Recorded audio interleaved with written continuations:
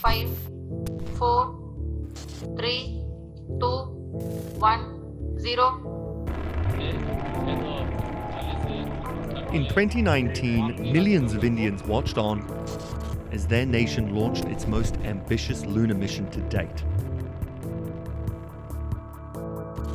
Over $80 million had been spent, and the nation's pride was on display and on the line.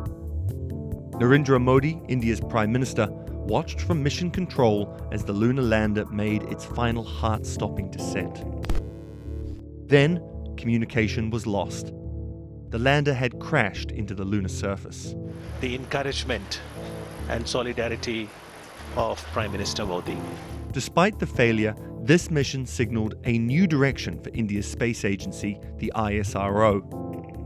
Through the 90s, it had created arguably the world's most cost effective space program. With NASA, it was about pushing the boundaries of innovation, sending hardware to areas in the solar system or in the universe that weren't sent before. Within India, it was about setting up infrastructure that could support the country. Over the last decade, India has ripped up its old rulebook and launched missions to Mars and the Moon. The earlier ambition of helping its people is now extending to leading the world. Our current Prime Minister, Mr. Modi, he does see space as a strategic sector. Historically, India has not competed with the mega budgets and ambitions of the great spacefaring nations. But that's changed. India now wants to take its next giant leap into space.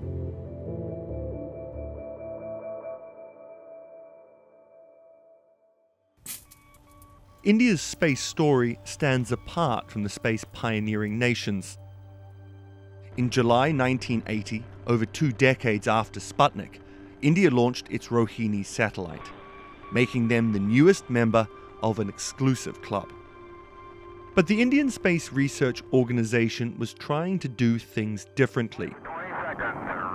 Unlike NASA or the Soviet space program, which aimed to explore space for grand national and scientific ambitions, the ISRO was tasked with creating an indigenous space program solely to allow India to access the practical advantages of space. India has always maintained that India wants space science to be developed for betterment of its people. If you look at it uh, for telecommunications, for electronics, India has used space technology for all of that. I would say the first 20 odd years, the focus was on technology independence. How do you build your own satellites, your own Earth stations? How do you launch your own satellites, which means you have to build rockets?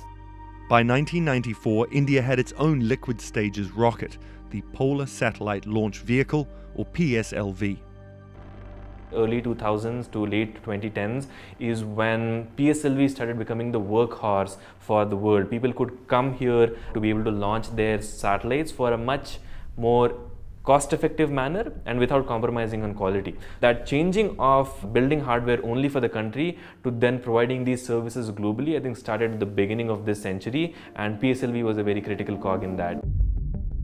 From 1994 to 2017, the rocket launched 48 Indian satellites and 209 satellites from customers abroad. The ISRO had carved out its own place in the space sector. It was the reliable and cost efficient way to put a satellite into orbit. Launch costs are measured by how much you pay to get one kilogram into orbit, in the mid 90s, India's PSLV rocket was the cheapest way to get hardware into space. It cost around $8,500 per kilogram. That compares to NASA's Atlas II rocket, which cost around $18,700 per kilogram.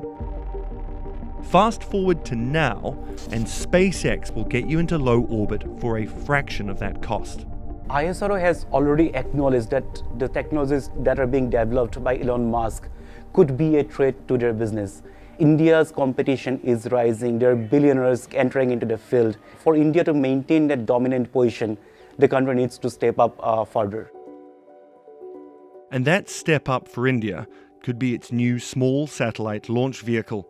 It will have a payload of 500 kilograms and deliver multiple satellites in one mission. But this new rocket may not be enough. The ISRO is also developing a reusable rocket like SpaceX's, but the timeline on that is less clear. In the meantime, India's signaled its intent to fundamentally reset its space program.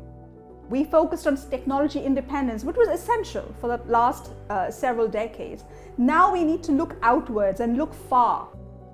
Sushmita Mohanty has over two decades' experience in the space industry and co founded India's first private space startup, Earth to Orbit, in 2009.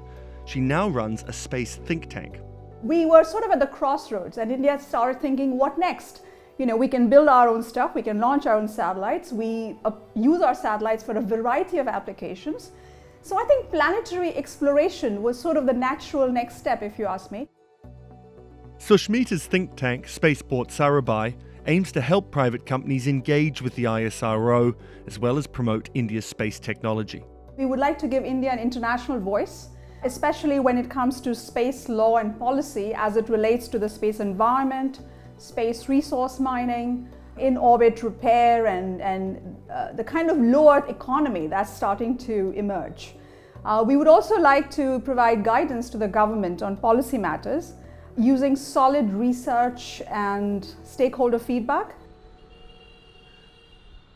India's shift from practical space program to exploration hinges on the belief that private companies and private money will take over.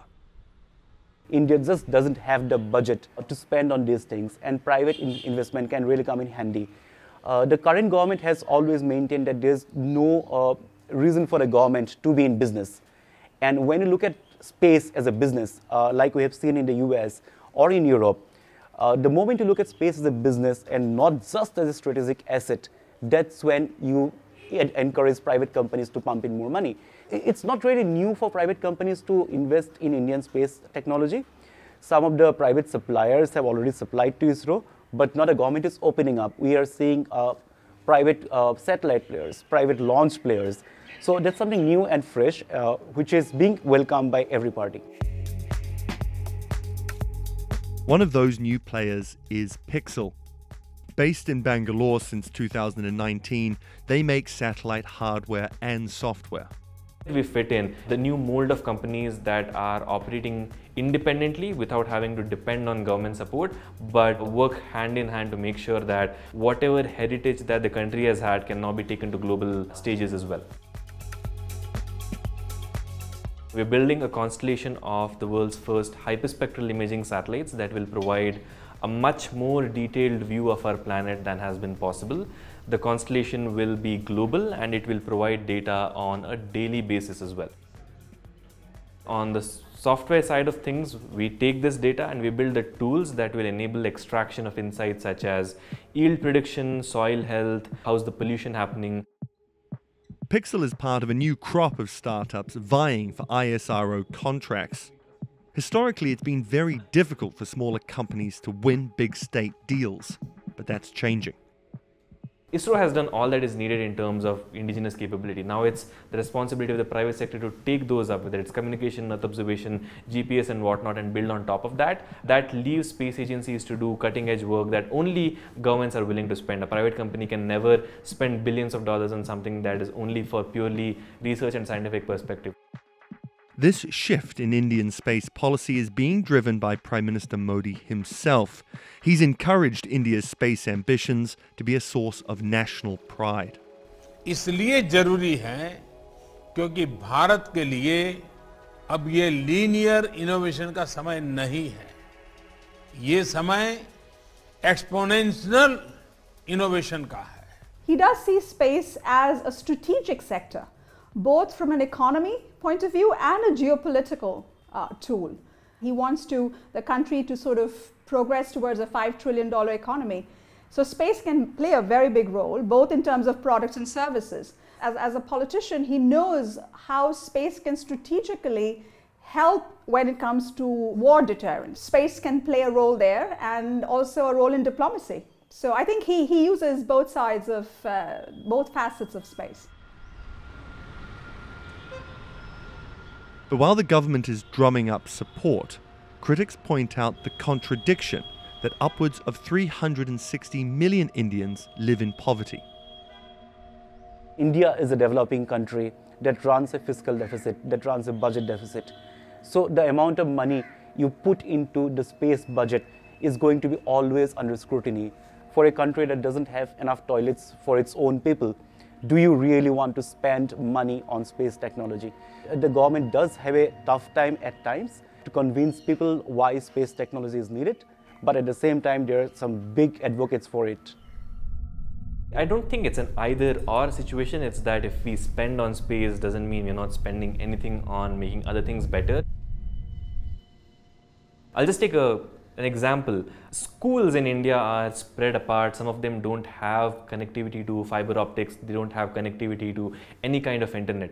When India launched its indigenous communication satellite, a lot of these schools were able to come online and be connected with what the other regions of the country were doing just from the fact that there were a few communication satellites that were sent up that enabled that connectivity because getting the other infrastructure from a wire perspective was simply not possible. India's spending needs to be put in perspective. The US remains the undisputed big spender, accounting for 58% of the world's space budget, with $47.7 billion spent in 2020. China, which has significantly increased its spending, takes second with $8.9 billion. In 2020, India spent just over $2 billion. What the ISRO and India's space sector is most proud of is what they've achieved with so little. If you look at the budget for India's space missions to the moon uh, and to Mars, you'll realize that they actually cost a fraction of what it costs to make a Hollywood movie on space. India's first Mars mission cost less than the film The Martian. India got its satellite to the red planet for $74 million, $20 million less than the budget for the film. Then, when you compare their mission to other nations, the contrast is even starker. NASA's Mars satellite Maven cost $651 million. That's more than eight times the cost of the Indian mission. But being frugal may not be sustainable or desirable. I think budget constraints can be a good thing, but it can also be a limiting factor. So if you have budget constraints, it invariably, um, you know, helps you do things uh, using methods of frugal engineering. But that's not always good when you look at the market and the economy in the sense, if I want to go and compete internationally, I'm a company in Bangalore, I would want the kind of capital that a company in California has to be able to compete internationally. So I think we, we should not stop at frugal engineering. India is looking at space not just as a strategic asset, but also as sort of a source of future profitability. If you look at the likes of what Elon Musk are doing, they're trying to colonize other planets. And any country, any company, any individual that does it first will have a big first mover advantage. I think in order to make space exploration in the coming half century be more humanistic and inclusive, geographically speaking, racially, ethnically, is going to be a huge challenge because a lot of the money rests in a certain part of the world. It would end up being an expedition of sorts where you would only have the wealthy participate leaving behind a large section of the earth, it's not going to look very pretty. In 1990, Asian nations represented only 9% of global space spending. Now it's 19% and rising. India is determined to be a leader, not a follower, in the new space race.